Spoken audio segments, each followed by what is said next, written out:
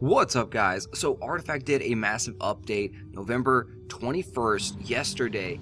This is huge to the economy. So, now you can convert 20 cards, 20 dupes that you have extras of into one event ticket. That may not seem like a lot. That seems like, well, I have to have 20 of, uh, you know, of a card to get one ticket. That, that's crazy. But the thing is, you can actually use any kind of card that you have. Like, it doesn't have to be one so you can do six Stonehall Cloaks, two Pikes, 10 Blade of the Vigils. So you can just convert all the extra cards that you have. And so what they show you here is your excess card quantity when you go over to the Recycle Cards tab. Still in the beta here, the buy and sell cards are grayed out. You cannot use them, but you can convert these over to tickets now with this Recycle Cards feature. And it's going to be a feature that's going live in the future which that essentially means that the minimum price for a card now is 5 cents because you can take 20 of them and convert them into an event ticket which is essentially 99 cents or $1. So making each card 5 cents. If there's any cards that are on the auction house that you can buy for under 5 cents, you should buy them. They now have essentially an NPC uh, you know buyback price five cents. So that's that's good for for players and people that are willing to spend some money in the game. The cards you have, the excess cards, are going to be worth more. That's really bad for casual people that wanted to play the game on super cheap budgets because the the old uh, thought was that the min price for cards were going to be three cents on the marketplace, but now this essentially makes it five cents as the, the lowest ceiling. Because if anyone sees a 3 cent or 4 cent card, you're going to go buy it and then use it, convert it into an event ticket. Um, that's, again, raising the price up 2 cents. It doesn't sound like a lot, but to those penny pinchers, that could mean a significant chunk of money.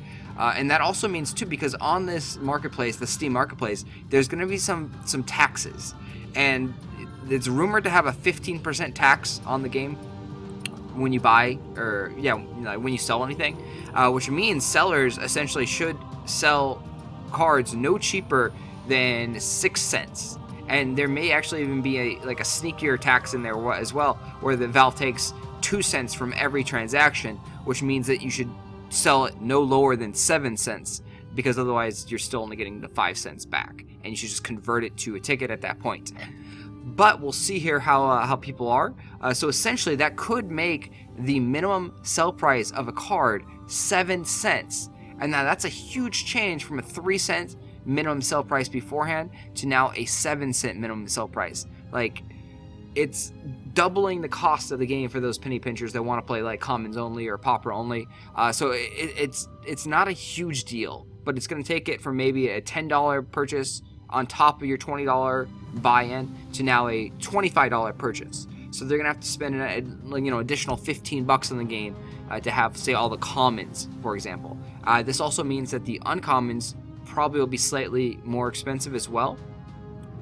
They they're not gonna be as as flooded as the commons, uh, but just the ability to recycle them and now allows people to go infinite in the gauntlet modes. Uh, a lot easier than before. Gauntlet modes are definitely challenging. The opponents that you're playing in the beta right now, like, are kicking my ass, no question about it. Like, I've only done two perfect runs uh, in the keeper draft. Granted, we are rare drafting, uh, and then one perfect run in the phantom draft, where we've done like three of those. So we're like one in three there, which that's a decent ratio, getting five wins uh, before two losses.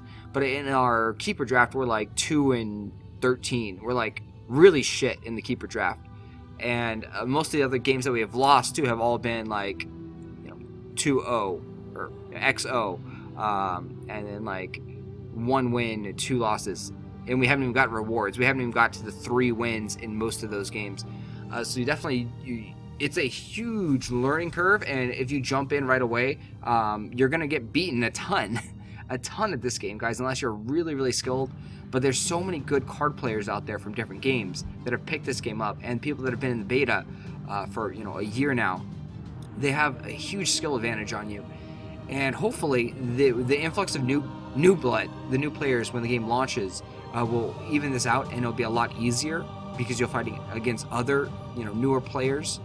But as of now, it's it's definitely a struggle. It's definitely easier with this recycle cards feature to go infinite in the gauntlets but it's not something that you know everybody's going to be doing. So there are other changes that are going to be coming to the game as well. This is just the first of the like the big beta changes. We uh, are eagerly looking forward to seeing what else is coming. Also, something to note too that on these cards you'll see that there's a how many you have. There's an NA right here. This is actually going to tell you the market price. Uh, like I don't know if it's going to be the average or if it's going to be the lowest, but it's going to tell you a market price on these cards. So before that you go ahead and convert these things, you're going to know if it's a wise investment or should you just list them on the marketplace and sell them yourself.